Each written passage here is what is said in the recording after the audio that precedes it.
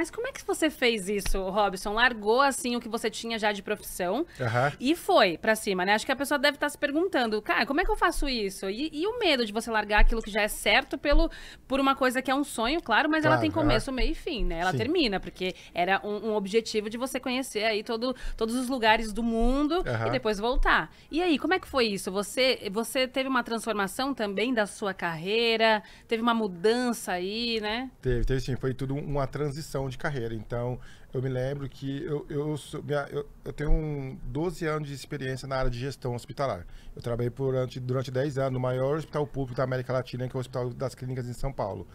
E é um lugar que eu amo, eu falo até hoje, eu amo lá. Eu, eu fui, convidado a participar de um evento lá. Eu falei, eu sou muito apaixonado, com certeza eu estarei aqui participando do evento de vocês, porque eu amo aquele lugar. É muito bom você estar num lugar onde você é útil. E eu era útil trabalhando ali. Então lá eu galguei várias posições, assim, eu saí de lá como um dos gestores do hospital.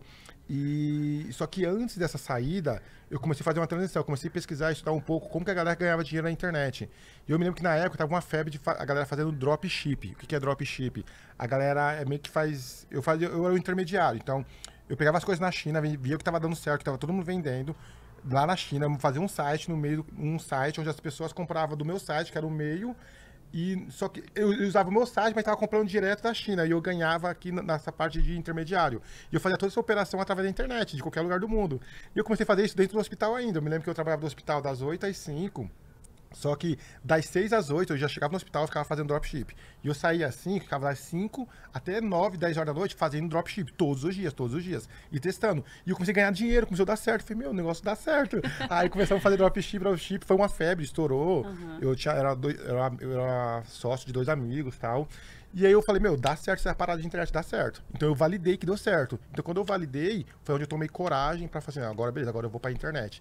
Então aí eu fiquei mapeando qual a profissão dentro da internet que, que se aplicava melhor pra mim, que eu me sentia mais confortável, foi onde eu, eu escolhi ser influenciador digital. Mas foi legal porque eu não sabia gravar, eu era totalmente tímido, você tem que ver meus vídeos, Larissa. Você tem que ver meus vídeos, por exemplo, o vídeo do, do meu país número um, da, da Tailândia. Se você ver meu vídeo da Tailândia, eu pegava meu celular e ficava assim, ó.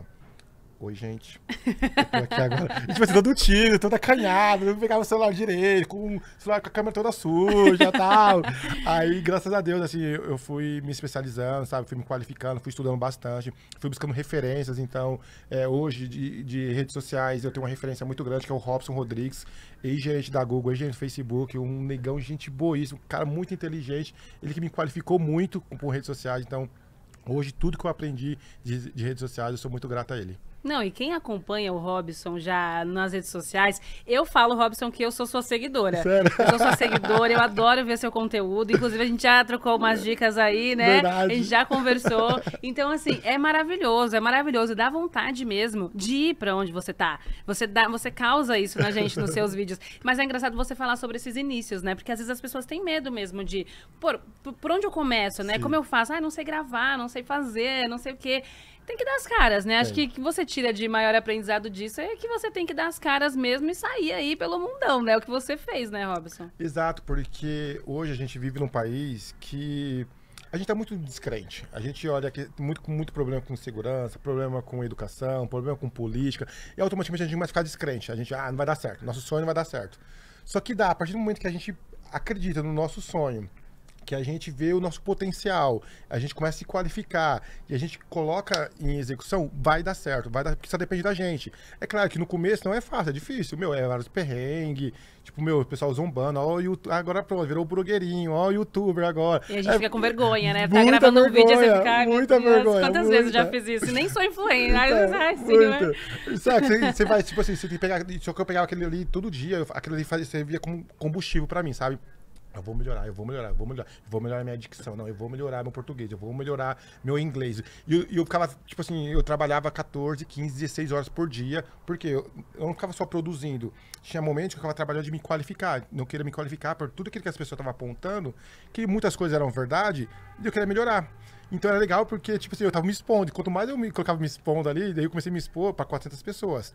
o negócio começou a crescer. 4 mil, 40 mil, aí 100 mil, aí 140 mil. Então o negócio começou a pegar uma, uma grandiosidade, assim, e eu falei, uau! Então, só que quando começou a crescer, eu já estava um pouco preparado, sabe? Então, é legal, sim, falar de toda essa trajetória e falar para as pessoas começar, né? Eu acho que a gente precisa acreditar no nosso sonho, porque é difícil, eu sei que é difícil, mas hoje eu, tá validado, sabe? Hoje eu vejo assim, que não tem limite. Hoje eu tô desenhando novos projetos, você tem que ver a grandiosidade, grandiosidade que é. Então, tipo assim, se eu falei, consegui fazer os 196 países do mundo, agora me segura. Porque agora, agora eu vou fazer agora, a Ninguém te segura, na verdade, segura, né? Ninguém né? te segura.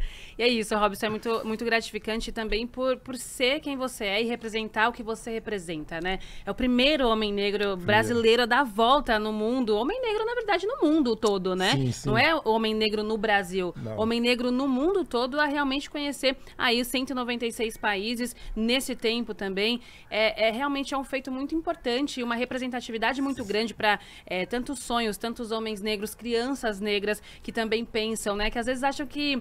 Acho que, sei lá, a gente tem a história dos nossos pais. Eu acredito que talvez seja a mesma coisa com você, né? Eu vim de família que os meus pais nunca saíram do Brasil.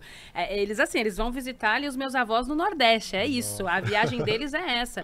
Quando eu comecei a sair para fazer alguma viagem aqui ou ali, era aquela coisa, nossa, mas como assim, né? Na minha família não tinha isso. Então, olha a possibilidade, né? O que você abre de, de leque. E aí você, com essa visibilidade toda, 140 mil seguidores você já tem no Instagram. Então, você realmente influencia muita gente, né?